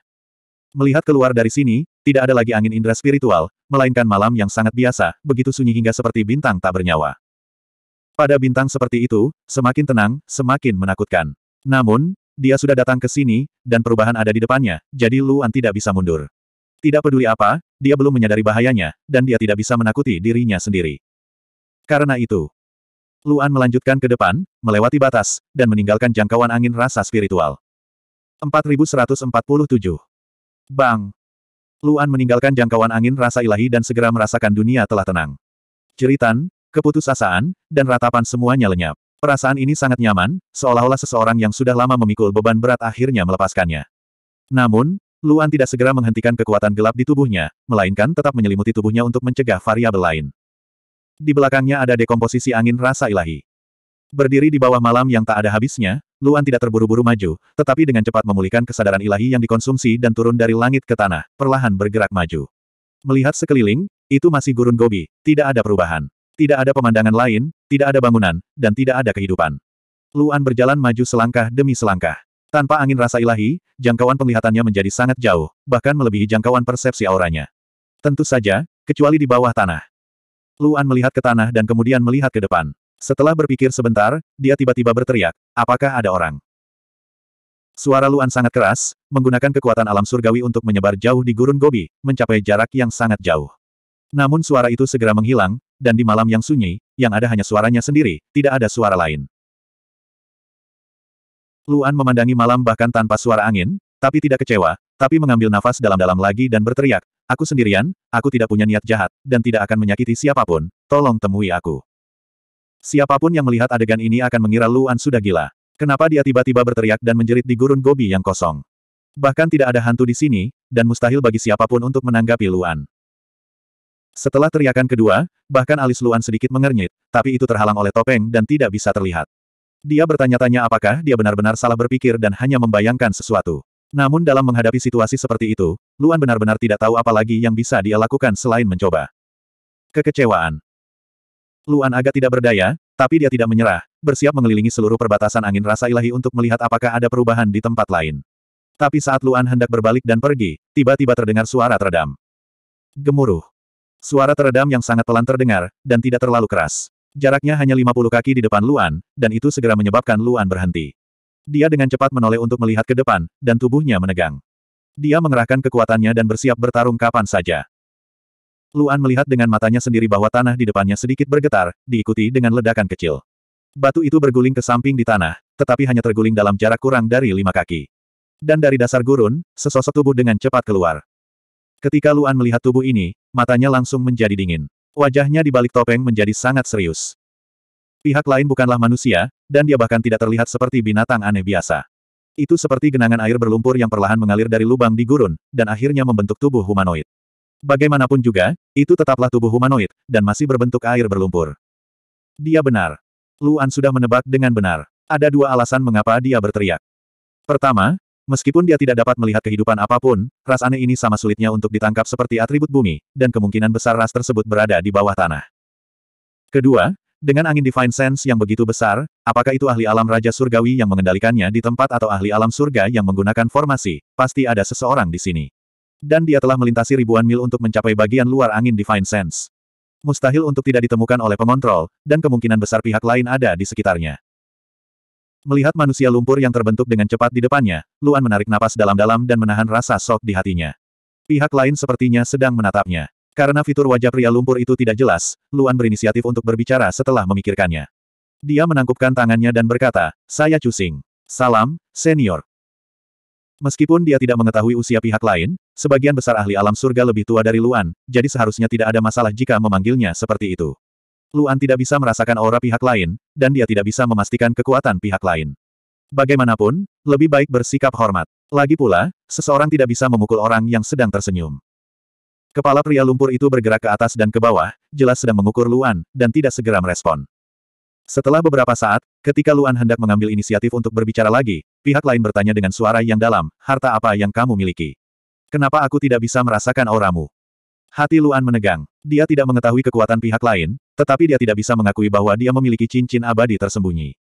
Oleh karena itu, dia hanya bisa tersenyum dan berkata dengan nada yang lebih santai, mungkin karena aku pandai menyembunyikan kekuatanku. Ini jelas-jelas bohong. Semua orang tahu bahwa dia tidak mau menjawab. Manusia lumpur tidak terus bertanya tentang masalah ini. Sebaliknya, dia menatap lurus ke arah Luan dan berkata, kamu, orang dari ras roh, agak aneh. Kamu tidak kuat, tapi kamu bisa keluar. Sepertinya indera ilahi kamu sangat kuat. Orang dari ras roh. Hati Luan menegang. Dia memang telah mengeluarkan aura kematian saat bertarung di penginapan, dan ini adalah satu-satunya saat. Pihak lain mungkin merasakan ini, tapi apakah itu benar atau hanya gertakan, Luan hanya bisa mengakuinya. Dia tidak bisa menyangkalnya. Terima kasih senior atas pujianmu, Luan menangkupkan tangannya dan berkata. Tapi, kamu adalah orang dari ras roh. Meski suara pria lumpur itu agak teredam, dia tetap bisa mengekspresikan emosinya. Seolah-olah ada amarah yang mendidih di tubuhnya. Dia berkata dengan berat, kamu tidak tinggal di galaksi roh. Datang ke galaksi abadi adalah kejahatan yang bisa dihukum mati. Sekarang, kamu meninggalkan kota untuk menemuiku. Apakah kamu benar-benar berpikir aku tidak akan berani membunuhmu? Tentu saja tidak. Luan langsung berkata saat mendengar ini. Saya tidak akan berani menyinggung atau memprovokasi Anda. Saya datang ke sini murni untuk bertemu dengan Anda dan menanyakan beberapa pertanyaan. Kalau tidak, saya tidak akan bisa melaporkannya kembali. Juga, karena kamu bersedia bertemu denganku dan belum membunuhku, itu berarti kamu setidaknya bersedia untuk berbicara denganku. Aku berterima kasih padamu karena tidak membunuhku. Tidak perlu bicara omong kosong. Jika aku ingin membunuhmu, aku tidak akan menunjukkan belas kasihan hanya karena beberapa kata, kata pria lumpur itu dengan suara yang dalam. Aku datang menemuimu hanya karena satu alasan. Aku ingin kamu memberitahu Spirit Rache untuk tidak datang ke sini dan mengganggu kami. Kami sudah pensiun dari urusan duniawi dan tidak ikut serta dalam peperangan. Namun, bukan berarti kita takut akan masalah. Bukan berarti kita juga tidak berani menyerang. Beritahu Spirit Rache untuk mengevakuasi semua orang di sini sesegera mungkin. Jika tidak, Anda harus menanggung akibatnya. Mendengar perkataan pria lumpur itu, hati Luan menegang. Dia segera mengangguk dan bertanya, saya pasti akan menyampaikan pesan Anda. Tetapi bolehkah saya mengajukan beberapa pertanyaan? Tanya saya, nada suara pria lumpur itu sangat dingin. Apa yang ingin kamu tanyakan? Dikatakan bahwa rasmu memiliki catatan sejarah dan rahasia selama 90 ribu tahun. Apakah ini benar? Luan buru-buru bertanya. Sekarang, bukan hanya ras roh yang mencarimu. Klan Hachiko juga ada di sini. Aku yakin kamu sangat jelas tentang ini. Klan Hachiko adalah pemimpin galaksi surgawi. Anda bisa mengusir kami, tapi Anda pasti tidak bisa mengusir klan Hachiko. Maukah Anda memberitahu mereka rahasianya? Siapa bilang aku tidak bisa mengusir klan Hachiko? Suara pria lumpur itu menjadi semakin dingin dan marah. The Spirit Rache tidak perlu mengkhawatirkan masalah kita. Enyahlah sejauh yang kamu bisa. Setelah mengatakan ini, sosok manusia lumpur itu segera turun, kembali ke gurun dan dengan cepat menghilang. Bahkan permukaan tanah telah pulih sepenuhnya, seolah-olah tidak terjadi apa-apa. Berakhirnya percakapan pihak lain secara tiba-tiba membuat Luan memiliki banyak pertanyaan untuk diajukan. Namun, sikap si manusia lumpur juga secara tidak langsung menjawab dua pertanyaannya. Sekalipun manusia lumpur ingin mengusir Rasroh, ia tidak membuka mulutnya untuk menyangkal fakta bahwa ia mengetahui sejarah sekitar 90 ribu tahun. Ini pada dasarnya adalah pengakuan atas masalah tersebut, yang berarti bahwa informasi dari Rasroh tidak salah. Sungguh beruntung pihak lain tidak membunuhnya. Ini karena pihak lain pasti berada di alam Raja Surgawi dan tidak mungkin berada di alam surga. Luan tidak akan menempuh jarak satu mil pun setelah menempuh satu inci pun, dia juga tidak akan mengejar manusia lumpur itu dan meneriakinya. Pihak lain sudah berbaik hati membiarkannya hidup. Dia segera berbalik dan memasuki jangkauan angin Divine Sense lagi. Suara mendesing. Kali ini, Luan maju lebih cepat lagi, terbang menuju kota dengan kecepatan hampir penuh. 4148. Planet Zuosuan, di kota. Luan kembali diam-diam. Dari awal hingga akhir, tidak lebih dari seperempat jam telah berlalu. Tidak ada yang memperhatikan dia kembali ke kamarnya. Pintu kamar masih terkunci, tidak ada jejak siapa pun yang masuk. Luan menarik napas dalam-dalam. Terlalu banyak orang di penginapan malam ini. Tidak peduli apakah dia menggunakan susunan teleportasi atau teleportasi, dia akan ketahuan. Apalagi kelompok anggota klan Hachiko ini tidak menyembunyikan kehadiran dan inderanya. Terlalu berbahaya untuk pergi sekarang. Lebih baik menunggu sampai besok pagi. Fu Minghe dan yang lainnya tidak menyadari kepergian Luan, termasuk empat anggota klan roh di penginapan. Begitu saja, malam panjang itu berangsur-angsur berlalu. Saat fajar menyingsing, angin indera ketuhanan juga menghilang. Fu Minghe dan yang lainnya segera meninggalkan penginapan dan berjalan ke jalan, sama seperti Luan di hari pertama, hanya saja tidak ada mayat di jalanan. Luan pun segera meninggalkan penginapan dan meninggalkan kota. Dia pergi ke bawah tanah dan pergi melalui susunan teleportasi. Tanda pisah tanda pisah tanda pisah. Tanda pisah tanda pisah. Heavenly Star River, markas garis depan Fu Clan. Luan tidak memberitahu klan roh tentang ancaman manusia lumpur. Baginya, itu tidak ada artinya. Dia bahkan tidak perlu memberitahu Ningji dan Jiang Xiao. Dia hanya perlu memberitahu satu orang, dan itu adalah istrinya. Fu Yu sangat terkejut ketika dia mendengar bahwa Luan telah bertemu dengan para manusia lumpur dan berbicara dengan mereka. Setelah Luan selesai berbicara, Fu Yu juga menjelaskan bahwa dialah yang meminta agar ketiga klan diutus. Namun, tidak banyak orang yang tahu bahwa dialah yang memimpin masalah ini. Ini karena pemimpin klan secara pribadi telah memberikan perintah. Ketika Anda meninggalkan planet Zuosuan dua hari yang lalu, saya mengirim orang ke sana. Pada malam hari, saya menemukan banyak anggota klan roh telah tiba, jadi kemarin saya mengirim orang dari tiga klan untuk mengusir mereka. Fuyu berkata, kita tidak bisa membiarkan klan roh terlalu lancang, dan kita tidak bisa membiarkan mereka mengambil inisiatif. Luan tidak pernah mempertanyakan keputusan Fuyu. Dia tidak perlu berpikir terlalu banyak. Dia bertanya, apa yang kita lakukan selanjutnya? Bagaimana jika klan ini menyerang klan Hachiko? Patung tanah liat ini bertuliskan, galaksi abadi, dan bukan, galaksi surgawi. Saya khawatir dia sangat tidak puas dengan klan Hachiko. Semakin tua dan kuat suatu klan, semakin mereka tidak puas dengan klan Hachiko yang menggantikan empat klan utama. Saya tidak terkejut dengan hal ini. Fuyu berkata, namun, kemungkinan mereka menyerang klan Hachiko tidak tinggi. Bagaimanapun, klan Hachiko telah mengambil alih Skyline. Jika mereka ingin bertahan, mereka tidak bisa menyinggung klan Hachiko. Terlebih lagi, ini adalah masa perang. Tidak peduli seberapa besar mereka membenci kita, mereka akan lebih membenci ras roh daripada klan Hachiko. Ini adalah sesuatu yang dipahami oleh ras kuno seperti mereka.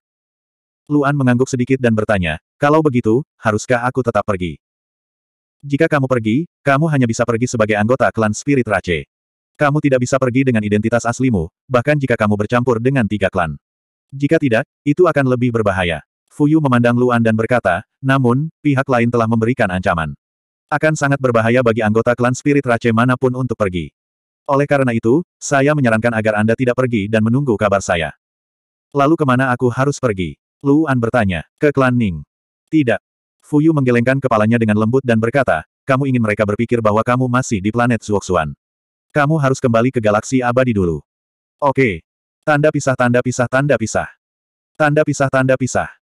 Dalam tiga hari berikutnya, planet Zuoxuan berlanjut seperti biasa. Luan tentu saja tidak memberitahu ras roh tentang ancaman patung tanah liat itu, dia juga tidak memberitahu Ningji dan Jiang Xiao. Oleh karena itu, empat orang dari klan teratas tetap berada di penginapan dan tidak pergi.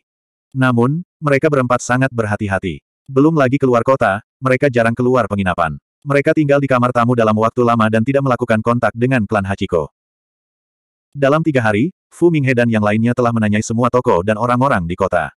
Tidak terkecuali gadis muda itu. Namun, gadis muda itu tidak mengetahui apa pun.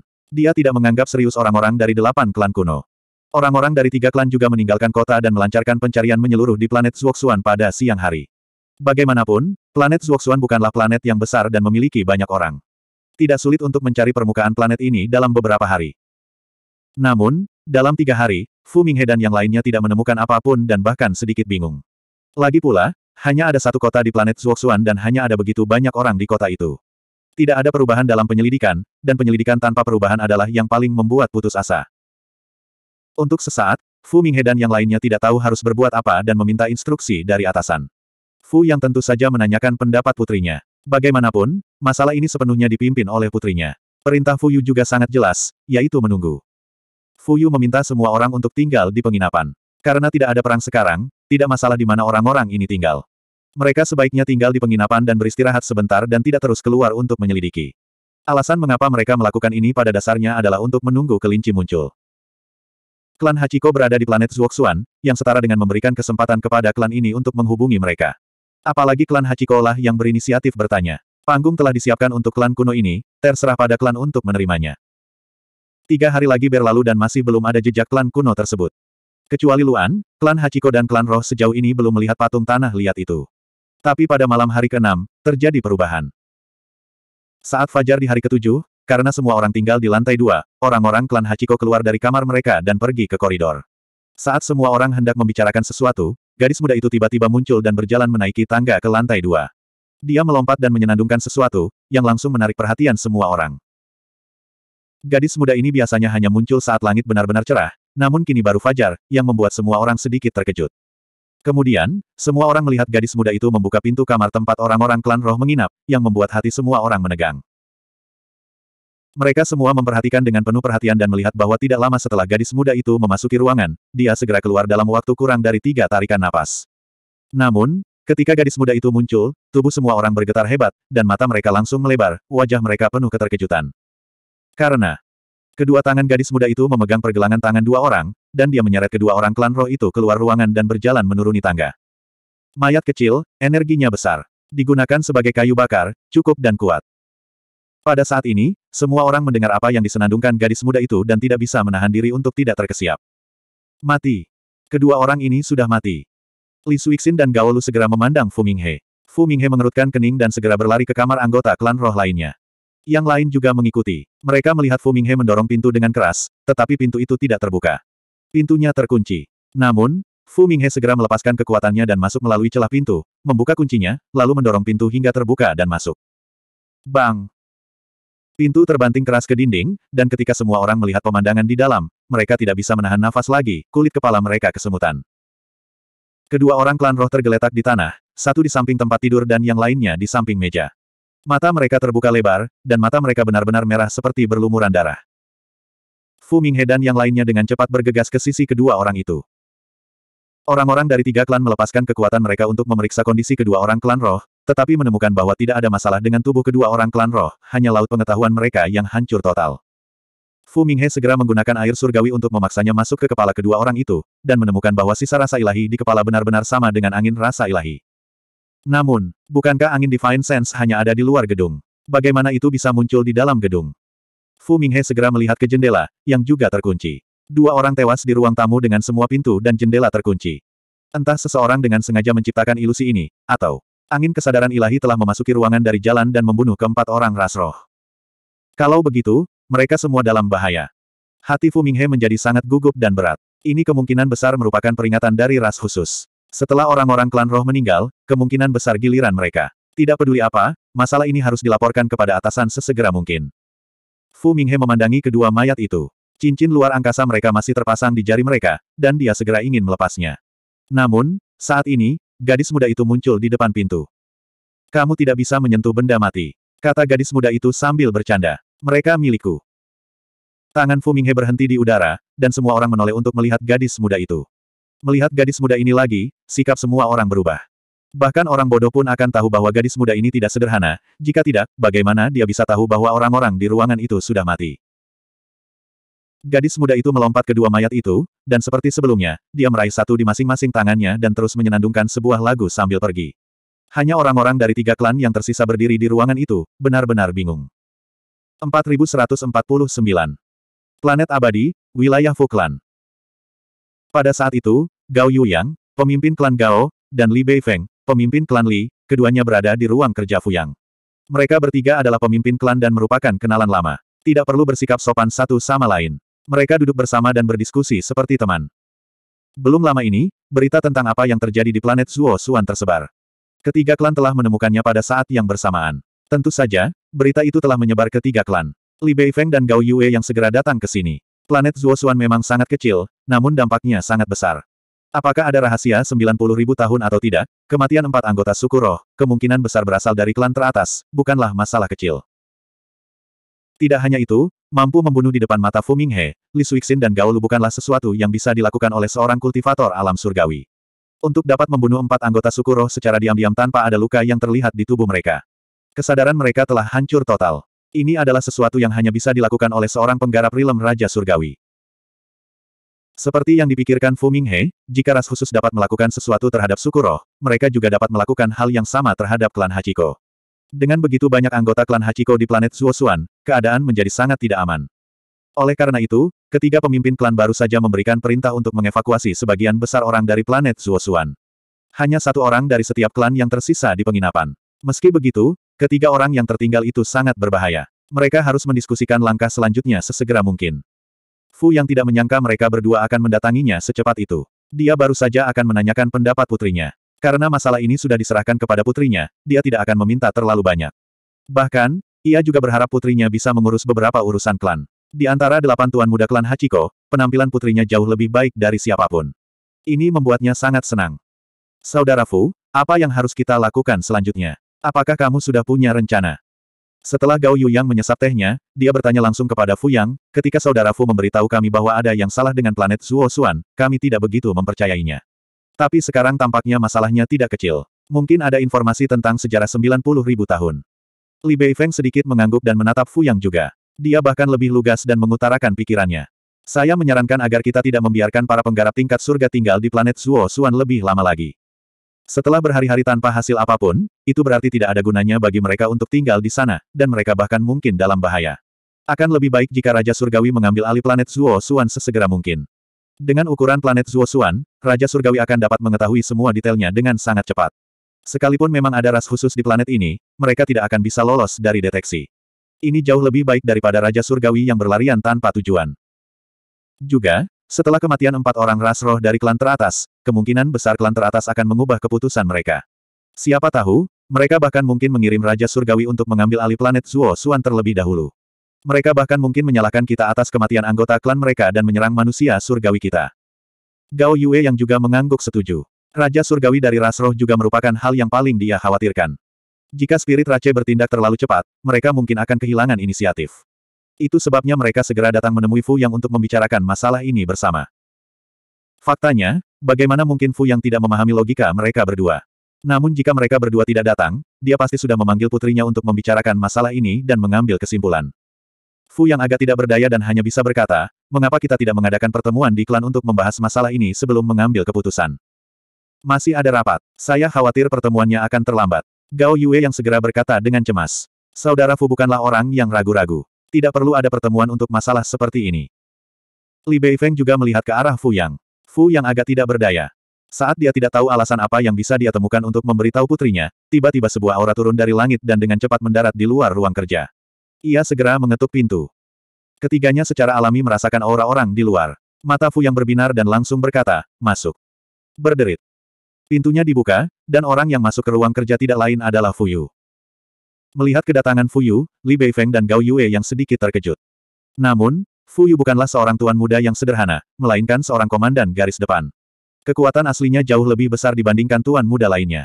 Bahkan bisa dikatakan bahwa dalam arti sebenarnya, dia adalah orang kedua setelah Fu Yang. Fu Yu tentu saja tidak akan bersikap kasar kepada Gao Yue Yang dan Li Beifeng, tapi dia hanya berkata dengan tenang, Tuan Gao, Tuan Li. Kemudian, Fu Yu memandang Fu Yang dan berkata, Ayah, saya mendengar ada berita dari planet Zuosuan. Li Beifeng dan Gao Yue yang jelas terkejut. Mereka tidak menyangka Fu Yu memiliki banyak informasi. Mereka juga tidak menyangka Fu Yu terlibat dalam masalah ini. Fu Yang mengangguk dan segera menjelaskan situasinya kepada Fu Yu. Lalu dia berkata, Paman Gao dan Paman Li sama-sama ingin melepaskan panggung Raja Surgawi dan memanggil manusia langit kembali untuk menghindari korban yang tidak perlu. Bagaimana menurut Anda? Fu Yu berpikir sejenak. Setelah dua tarikan napas, dia menggelengkan kepalanya dan berkata, saya tidak setuju. Tidak banyak orang di klan Hachiko yang berani mengatakan kata-kata seperti itu di depan ketiga penguasa klan. Gao Yue Yang dan Li Beifeng sama-sama tercengang. Namun, Fu Yu bukanlah orang biasa. Keduanya tidak akan bangga dengan status mereka sebagai orang yang lebih tua. Li Beifeng langsung bertanya, mengapa kamu tidak setuju? Karena aku khawatir jika tahap Raja Surgawi pergi ke planet Suosuan, tahap Raja Surgawi dari klan ini akan pergi dan tidak pernah muncul lagi. Fuyu berkata, planet Zuosuan hanyalah jembatan bagi klan ini untuk berkomunikasi dengan dunia luar. Bagi klan dengan kultivator tahap Raja Surgawi, mereka tidak kekurangan planet. Planet Zuosuan tidak punya alasan untuk tetap tinggal. Mereka bisa berubah ke planet lain untuk terus berkomunikasi dengan dunia luar. Namun, jika kita ingin mencari planet lain, itu akan sama sulitnya dengan naik ke surga. Mendengar kekhawatiran Fuyu, hati ketiga pemimpin klan itu menegang. Memang ada kemungkinan seperti itu, dan itu tidaklah rendah. Gao Yue yang bertanya, tetapi bahkan jika penggarap tahap Raja Surgawi tidak pergi, pihak lain tidak memiliki niat untuk berkomunikasi dengan dunia luar. Mungkin kita bisa pergi lebih cepat dan menghentikan penggarap tahap Raja Surgawi dari klan ini, mencegah dia melarikan diri. Saya bukan seorang kultivator tingkat Raja Surgawi. Saya tidak bisa menilai apakah saya bisa menghentikannya atau tidak. Namun, saya pikir meskipun kita menangkapnya, tidak ada gunanya. Bagi sebuah klan yang memiliki kultivator tingkat Raja Surgawi di planet Zuosuan, itu berarti mereka memiliki lebih dari satu kultivator tingkat Raja Surgawi. Terlebih lagi, kultivator tahap Raja Surgawi ini kemungkinan besar bersiap untuk mati. Kalau tidak, dia tidak akan membunuh seseorang dari spirit Rache. Fuyu berkata, mengenai apa yang dikatakan Tuan Klan Gao tentang pihak lain yang tidak memiliki niat untuk berkomunikasi dengan dunia luar, saya tidak setuju. Bukan berarti pihak lain tidak memiliki niat untuk berkomunikasi dengan dunia luar. Hanya saja mereka tidak mau berkomunikasi dengan kita. Li Beifeng mengerutkan kening saat mendengar ini. Dia tidak mengerti kata-kata Fu Yu dan bertanya, apa maksudmu? Jika pihak lain benar-benar tidak memiliki niat untuk berkomunikasi, tidak akan ada angin sens spiritual. Fu Yu berkata, jika itu aku, aku benar-benar tidak ingin ditemukan oleh dunia luar dan tidak ingin berkomunikasi dengan dunia luar. Begitu aku ditemukan, aku pasti akan meninggalkan planet Zuosuan. Planet Zuosuan hanyalah sebuah planet yang sangat biasa. Itu tidak ada artinya bagiku. Saya tidak perlu membunuh orang, dan saya tidak akan membunuh orang setelah berhari-hari. Terlebih lagi, saya tidak membunuh semua orang, hanya spirit Rache. Dengan kata lain, bukan karena pihak lain tidak mau berkomunikasi, hanya saja mereka tidak ingin berkomunikasi dengan spirit Rache, jadi mereka membunuh spirit Rache. Mereka juga tidak mau berkomunikasi dengan klan Hachiko, sehingga mereka tidak melakukan apa pun terhadap klan Hachiko. Namun pihak lain masih tetap berada di planet Zuosuan, yang berarti mereka ingin berkomunikasi dengan seseorang. Fuyu memandang Li Beifeng dan berkata, mengenai siapa pihak lain yang ingin berkomunikasi, saya pikir Patriark Li bisa menebaknya tanpa saya mengatakannya. Hati Li Beifeng mencelos, dan dia segera menoleh untuk melihat Fu Yang dan Gao Yuyang. Fu Yang dan Gao Yuyang juga mengerutkan kening, dan jawabannya segera muncul di lautan kesadaran ketiganya. Empat klan utama. Lebih tepatnya, Sengoku. Jika apa yang dikatakan Fu Yu benar, tidak diragukan lagi pihak lain ingin berkomunikasi dengan Sengoku. Dan ketika Fuyu mengucapkan kata-kata ini, ketiga leluhur pada dasarnya mempercayai kesimpulan ini. Hanya ada satu kemungkinan untuk kesimpulan ini, yaitu bahwa planet Zuosuan benar-benar memiliki arti yang sangat istimewa bagi klan ini, yang membuat panggung Raja Surgawi dari klan ini ingin melindungi planet Zuosuan. Selain itu, klan ini tidak punya alasan lain untuk bertindak seperti ini. Setelah beberapa napas, Gao Yu yang menarik napas dalam-dalam, memandang Fu Yang dan Li Beifeng, dan berkata dengan suara yang sangat berat, jika itu masalahnya. Apa yang harus kita lakukan? Apakah kita benar-benar ingin empat klan besar pergi ke planet Zuosuan dan bertemu dengan klan kuno ini? 4150. Begitu dia mengatakan itu, suasana di ruang belajar menjadi tegang. Jika apa yang dikatakan Fuyu benar dan klan aneh ini tidak bertemu dengan empat klan besar, tidak ada yang tahu apa yang akan terjadi ketika kedua belah pihak bertemu. Bagaimana jika klan aneh ini benar-benar mengetahui semua rahasia 90 ribu tahun terakhir? Apa yang harus mereka lakukan? Rahasia 90 ribu tahun terakhir lebih penting di mata mereka yang kuat. Hanya dalam 90 ribu tahun, klan Hachiko, kekuatan yang mampu menguasai galaksi, dan bahkan menjadi satu-satunya dewa surgawi di galaksi, sudah cukup untuk membuktikan pentingnya rahasia ini. Jika keempat klan besar mengetahui rahasia 90 ribu tahun terakhir, akankah keempat klan besar tersebut bangkit kembali, atau bahkan melampaui klan Hachiko dan menggantikan klan Hachiko sebagai penguasa galaksi. Saat itu, ke mana klan Hachiko akan pergi? Jika rahasia 90 ribu tahun terakhir tidak penting, klan Hachiko tidak akan mau mengetahuinya. Karena itu, ketiga pemimpin klan tidak ingin keempat klan besar ikut campur dalam masalah ini. Benar, bahkan Fu Yang pun tidak mau. Inilah mentalitas seorang pemimpin. Tidak ada seorang pun yang ingin digantikan, dan mereka semua ingin melindungi kepentingannya sendiri. Lebih penting lagi, klan Hachiko baru memerintah selama 13.000 tahun. Di bawah pemerintahan mereka, bintang abadi sangat damai. Setidaknya, tidak banyak konflik antara manusia dan binatang aneh. Delapan benua kuno sepenuhnya dimiliki oleh manusia. Dunia manusia mengalami perkembangan yang belum pernah terjadi sebelumnya. Ini adalah peristiwa besar yang belum pernah dicapai oleh empat klan besar selama 80 juta tahun terakhir. Klan Hachiko mengira mereka telah melakukan pekerjaan dengan baik. Belum lagi hal-hal lain, setidaknya mereka layak menjadi klan manusia di bintang abadi. Mereka telah melakukan pekerjaannya dengan baik, jadi mereka pasti tidak ingin digantikan. Fuyu secara alami memahami mentalitas mereka. Dia bukan seorang pemimpin. Meskipun dia adalah pemimpin klan muda dan komandan garis depan, ada kesenjangan besar antara mentalitas mereka. Jadi kali ini, dia tidak berinisiatif menyarankan apa pun. Dia membiarkan mereka bertiga memutuskan. Kali ini, keheningan berlangsung lama. Setelah sekian lama, Fu Yang akhirnya berubah. Dia menarik napas dalam-dalam dan menatap Gao Yuyang dan Li Beifeng. Masalah ini harus diputuskan oleh kita bertiga. Izinkan saya menyatakan pendapat saya terlebih dahulu. Fu Yang berkata, saya setuju untuk membiarkan empat klan besar pergi ke planet Suosuan. Begitu dia mengatakan itu, mata Gao Yuyang dan Li Beifeng menjadi dingin, tapi mereka tidak terlalu terkejut. Mereka hanya memandang Fu Yang dengan serius. Tentu ada syaratnya. Kita harus berbagi informasi. Rahasia apa pun yang mereka miliki, kita harus tahu. Kita tidak bisa menyembunyikan apa pun dari mereka. Kata Fu Yang, kita bisa menggunakan batu dewa tersembunyi untuk mencatat semua yang terjadi. Atau kita bisa meminta orang-orang kita mengikuti mereka dan pergi bersama mereka untuk menghadapi perlombaan semacam ini. Mengenai kekhawatiran kita, saya tidak berpikir bahwa empat ras besar dapat menimbulkan ancaman bagi kita dalam keadaan hancur. Bahkan jika mereka mendapatkan rahasianya, itu akan tetap sama. Selain itu, kita juga bisa mendapatkan rahasianya. Fu yang berkata, mundur selangkah, meskipun rahasia ini sangat penting bagi empat ras besar, itu tidak begitu bermanfaat bagi kami. Kami dapat menghentikannya kapan saja. Bahkan jika kita tidak bisa menghentikan mereka, masih ada Gunung Dewa Langit. Menurutku Gunung Dewa Langit tidak akan berdiam diri dan menyaksikan empat ras besar bangkit. Fu yang berkata dengan sungguh-sungguh, bagaimanapun, Dewa Gunung Langitlah yang memenjarakan dan membatasi Sengoku dan ras bintang yang diperluas. Kami hanya mengikuti perintah Dewa Gunung Surga. Setelah Fu yang selesai berbicara, dia melihat ke arah Gao Yuyang dan Li Beifeng, jelas menunggu pendapat mereka. Gao Yuyang dan Li Beifeng saling berpandangan. Li Beifeng menarik napas dalam-dalam dan berkata, saya setuju dengan pendapat saudara Fu, tapi saya punya satu keraguan. Haruskah kita memberitahu Gunung Dewa Langit terlebih dahulu? Saya kira tidak demikian. Fu yang menggelengkan kepalanya dan berkata, empat ras besar telah diizinkan meninggalkan planet abadi dan berpartisipasi dalam operasi aliran bintang kepunahan. Dewa Gunung Surga mengetahui semua ini. Karena Gunung Dewa Langit telah setuju untuk membiarkan empat ras besar meninggalkan planet abadi, itu berarti mereka tidak akan mengganggu apa yang mereka lakukan. Mungkin Dewa Gunung Surga ingin empat ras besar mengubah situasi mereka saat ini dan ingin menggunakannya. Kalau begitu aku setuju dengan pendapat Saudara Fu. Namun, seperti yang dikatakan Saudara Fu, seluruh proses harus dicatat oleh batu ilahi tersembunyi, atau kita dapat memiliki orang-orang di sisi kita. Li Beifeng berkata, jika tidak, meskipun kita tidak memiliki informasi tentang 90 ribu tahun yang lalu, saya tidak setuju untuk membiarkan empat ras besar merahasiakannya. Kemudian, Li Beifeng memandang Gao Yuyang.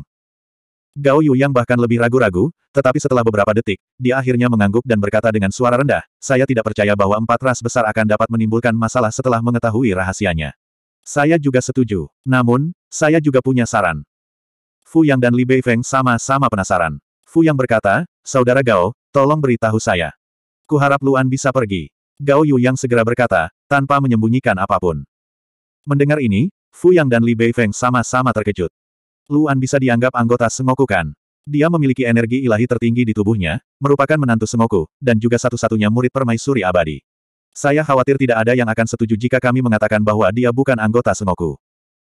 Gao Yuyang berkata, jika kita memaksa klan Hachiko dan Semoku untuk pergi bersama, saya khawatir pihak lain akan tetap menahan diri, dan bahkan mungkin tidak berkomunikasi dengan mereka.